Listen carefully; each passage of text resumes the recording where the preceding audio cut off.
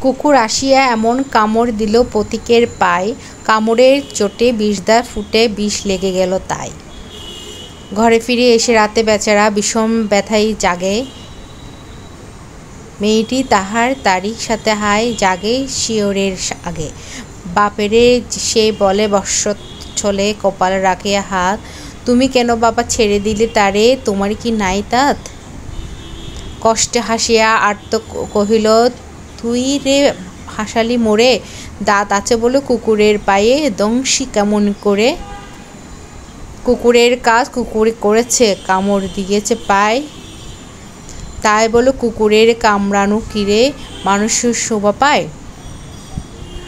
বন্ধুরা, চলার পথে মানুষরূপী কিছু কুকুরের কামড় খেতে পারেন।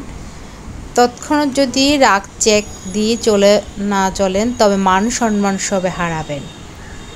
দিন দিন মানুষরূপী জানোয়ারের সংখ্যা বেড়েই চলেছে, যেখানে ভদ্রগড়ের ছেলে মেয়েরা খুব অসহায়। কুকুররা ভাবে ওরা দুর্বল, কিন্তু কুকুরে জানে না ওরা লেভেল বুঝে কথা বলে। লেভেল বুঝে চলা, চলাফেরা করে। ওদের টাকা না থাকতে পারে, কিন্তু মান সম্মান আছে। চাইলেও কোনো অন্যায় করতে পারে না, কারণ বাবা মা সে শিক্ষা দেয় নাই। আফসোস, এই সাধারণ মানুষগুলো সমাজে খুবই অবহেলিত। সামাজিক অনুষ্ঠানে এই সরল মানুষদের কোনো ইনভাইট করা হয় না। ইনভিটেশন পায় বড় বড় দাঁতওয়ালা। আসলে জীবনের সবচেয়ে কঠিন কাজ হলো সরলভাবে জীবনযাপন করা। আমি উপলব্ধি করতে পারছি যে সরলতা মানে হলো জীবনটাকে নিজের মতো করে চালানো। সরলকে কঠিন বানানো সাধারণ ব্যাপার।